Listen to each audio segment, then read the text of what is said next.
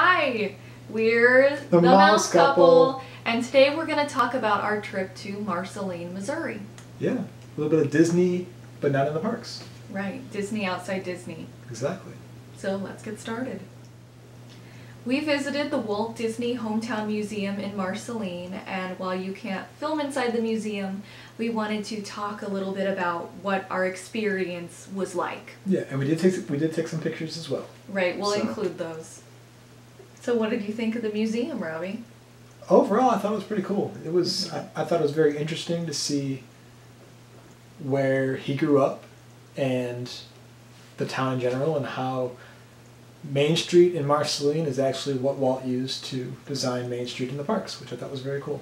Right. The way the museum was set up, it went through the most part chronologically through his life, and then another section of the museum focused specifically on the Disney family. And if you're really into Disney history, I really love the room where it showed letters between Ruth and Walt. So that was a lot of That was really cool. that was a lot of really cool history and it was just the letters they wrote to each other. Talked So about like her wedding and how he, he was sending her money and all that kind of stuff. Yeah. it was interesting. He was definitely supportive of his sister. He was very supportive. right. And there was one room that was just like Disney memorabilia, which that, That- was always yeah. cool. That room was very fun and it was kind of a hodgepodge of different things. Some there was a big sign, Yeah, there was a giant Mickey in right? a, uh, train, train conductor. outfit. But Marceline also has a lot of railroad history, so that's another big pull for tourism for the town, not just Disney. But of Right. course, we were there for Disney. So they had the Midget Autopia car. Yeah, That was very cool to see. They had his desk from his from childhood, his childhood with his with his initials in it. carved twice, not once, but twice. So you could tell that he kind of had a creative ornery streak right from the beginning, Walt did. Yeah, So and then upstairs there was a film that we did not get to see actually, but no. it was a little long. It was an hour and a half, and we Right. didn't plan on there being a film, so we didn't We have enough time. We also didn't know when the film was starting. That's also So true. that was another part of why we didn't end up watching the film. But that was upstairs. Upstairs there were also several models yeah, those were cool. that someone had contributed to the museum and they were very cool. And they also had history specific to Walt's mother, Right, working on the farm. right? And Walt's mother was famous for her butter. Apparently so. so that was cute. And then they also talked about how Walt was trying to develop an attraction in Marceline, Missouri to help his hometown, but it never happened. right, he was going to build this like a next park was going to be in Marceline. Right. And the Midget Autopia, I think, was kind of the, Yeah, so I the think beginning of that. they told us that they took Autopia from Disneyland Right. and moved it to Marceline and like a, a miniature version of it for the folks folks of Marceline to enjoy. Right. It's no longer open though, but But you can still see the car in the museum. yeah, They also were building when we were there over the summer, and that was summer of 2019. They were building a sort of walk-through track yeah, next to the museum, and we weren't entirely clear on what. It, it was it was strange. It was just like a sidewalk, but it was in the shape of what the track would have been. Right. I'll throw a picture in here, but yeah, it was it was a little strange. But it was cool that the town is still trying to honor that legacy and Oh, yeah. everything. And it was really evident that Marceline is very proud of Walt Disney and their connection to Walt Disney, and that Walt was very proud of Marceline and that his time in Marceline had a big impact on him and the future of Disneyland and the Disney Company. Yeah. So our next stop in town was we went to the Walt Disney Post Office.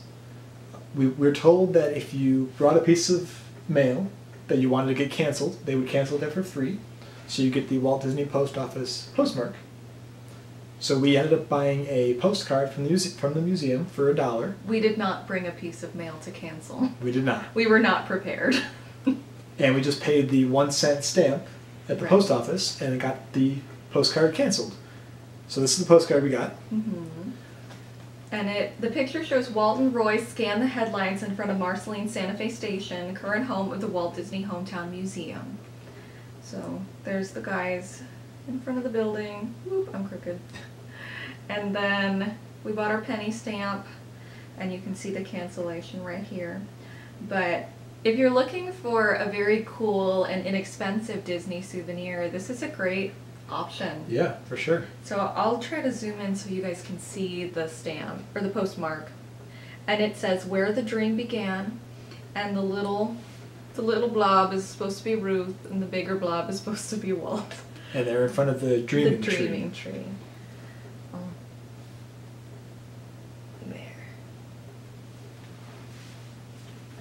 So yeah, that that was our post office adventure. Mm-hmm. And then where did we go next? I think we got some food. Yes, we went to Mavick's Corner Cafe. Corner Cafe, Right. which, which was in town. We actually went there, I think, because the museum kind of referred you there. Right. They said if you brought your ticket there, you got a free sample of their famous ice cream sundae, which they call the Dusty Miller. Mm-hmm. Which also relates back to the railroad history of the town. Right. I don't remember the story exactly, so I don't mess it up. Well, there was a guy whose name was Dusty Miller who came in all dusty from working. And he said he had a great idea for a type of ice cream.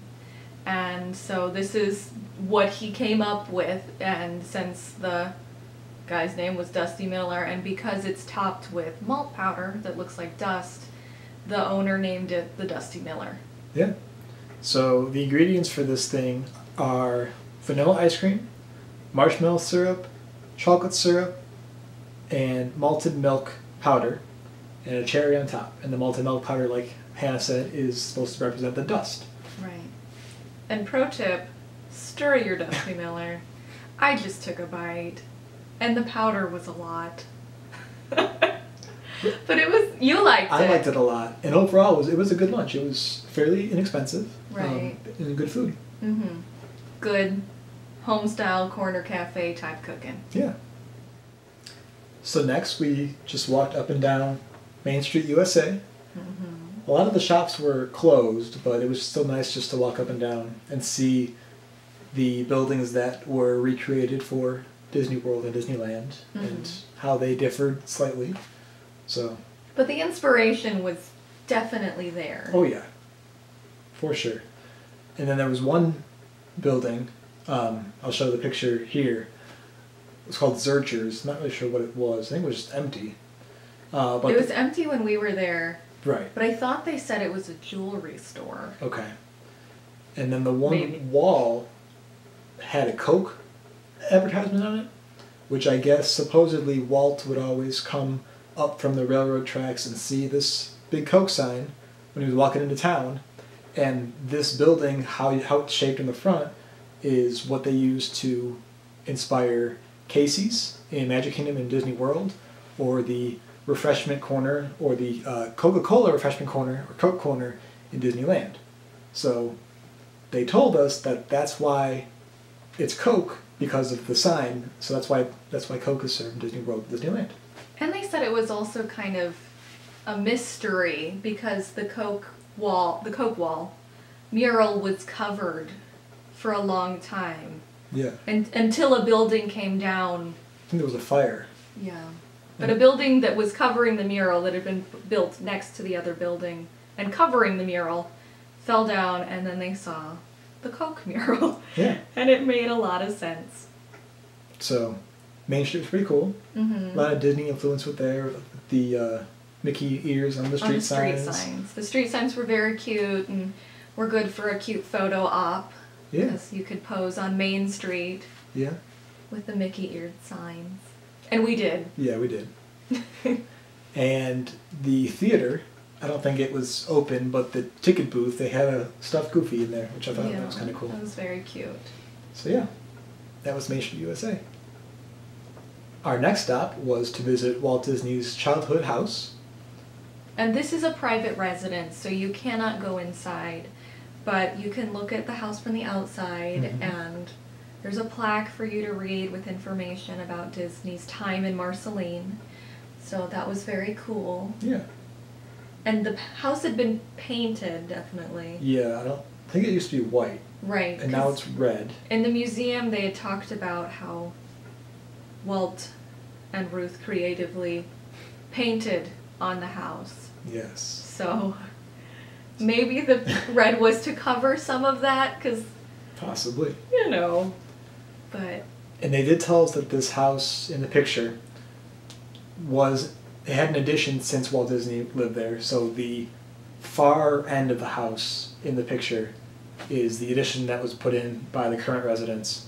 So just the front half is what Walt lived in. And then our next stop was to go to the Walt Disney Barn and Dreaming Tree site. so that was very cool. And it was a bit of a hike to get back there. Not anything terrible.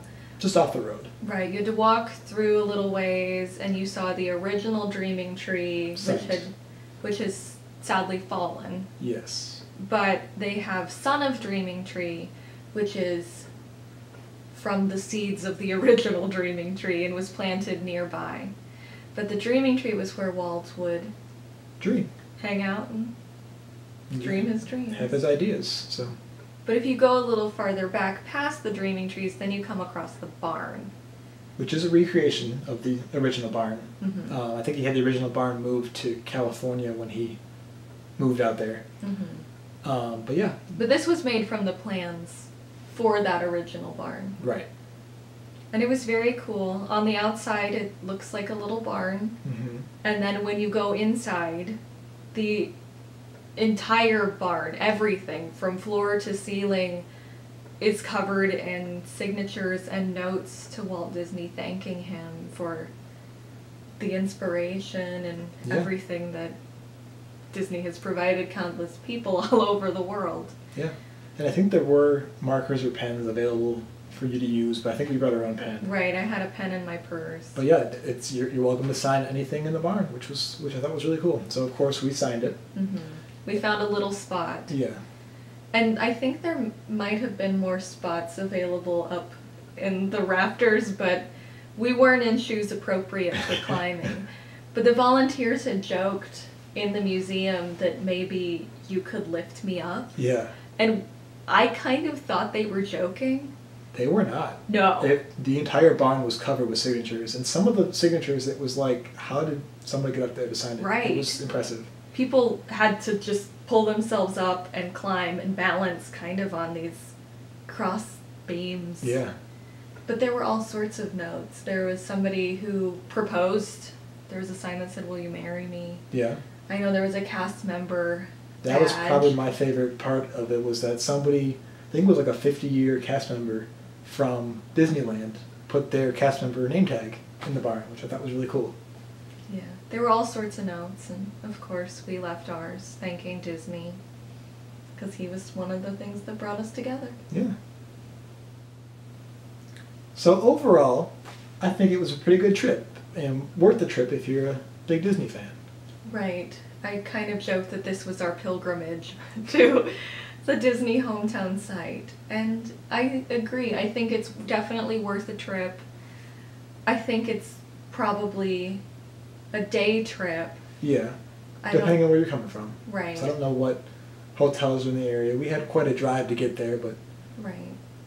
yeah, it was it was a nice little trip. So what was your favorite part? I loved the barn. It was just so cool, and it was just kind of breathtaking to walk in and see Yeah. this.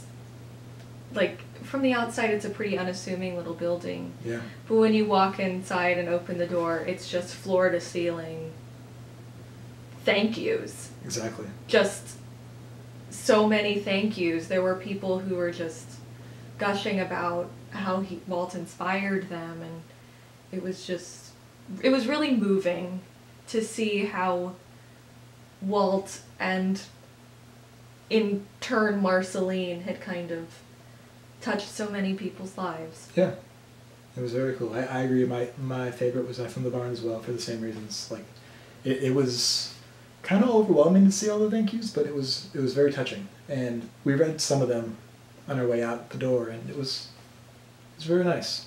Mhm. Definitely worth the trip. Mhm. So If you've been to Marceline, let us know in the comments. Yeah. Or if you're planning to go to Marceline, we'd love to hear about that too. yeah, and I'll link the uh, website for the museum if you're interested in visiting in the Mhm. description below. So thank you for watching, and we'll see you next time. See you real soon.